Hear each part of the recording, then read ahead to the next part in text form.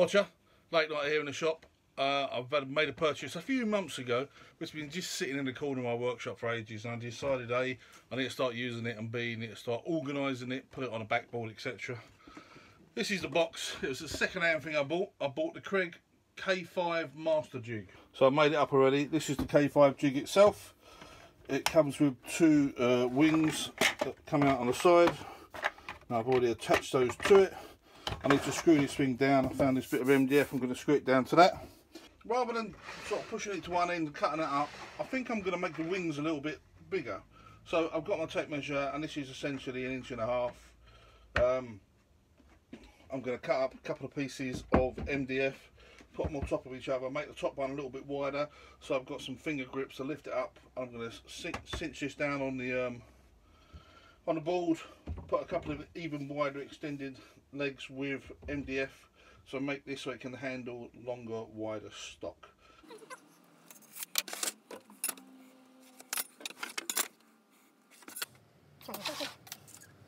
Certainly 65.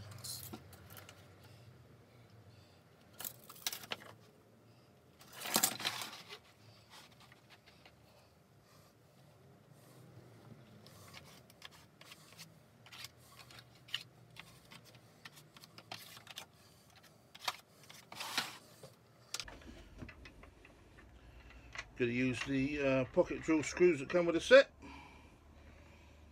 32 mil ones. I'm actually making two mistakes at this point. See if you can work out what they are and comment below. I correct them later on the video but see if you can spot them at this point.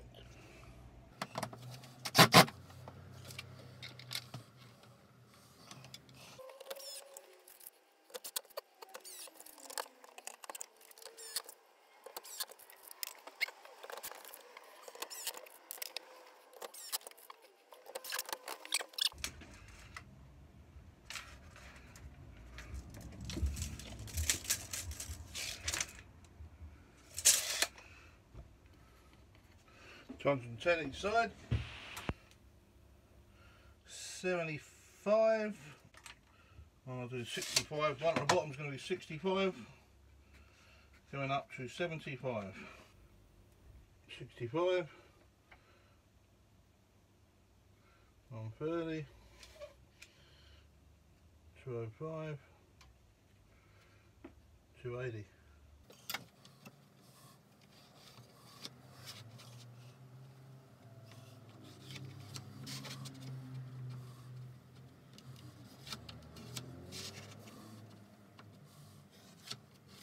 Okay, we've cut the um, the wings to each side, made each one at the bottom slightly narrower than the one at the top, so we've got somewhere to grip hold of to lift it all up. Now let's um, let's glue these on, clamp them up, wait for these to set.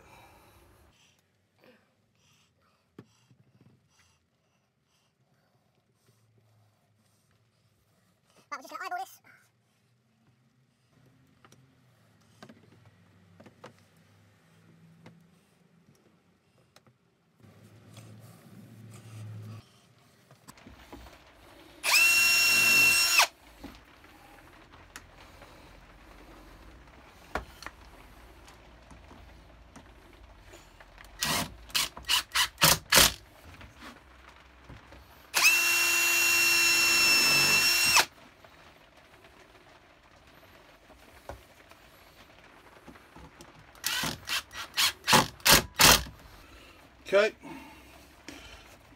we've clamped up the glue, we've stuck a couple of screws to keep this together. That one's been glued up, this front. Okay, this side, we'll turn this over, we'll glue and screw it from the other side. We mark up the edge there, so when we turn it over, we know it's in the correct position. Stick a clamp on the end to hold it.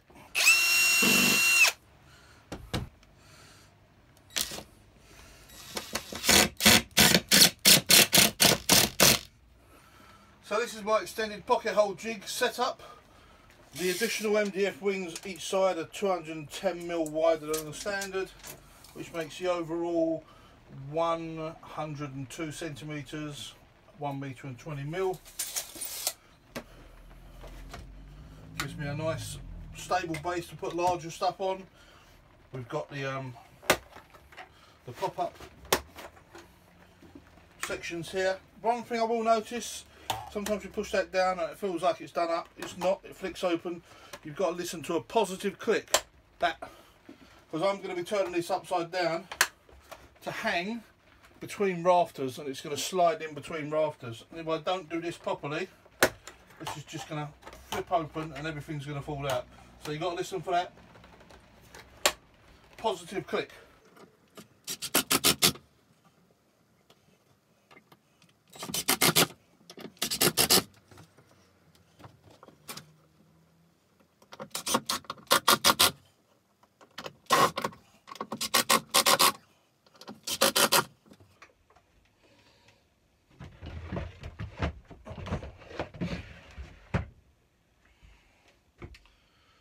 When a workshop's as small as mine and wall space and floor space is at a premium, you got to use your roof space if you can. Use every available inch.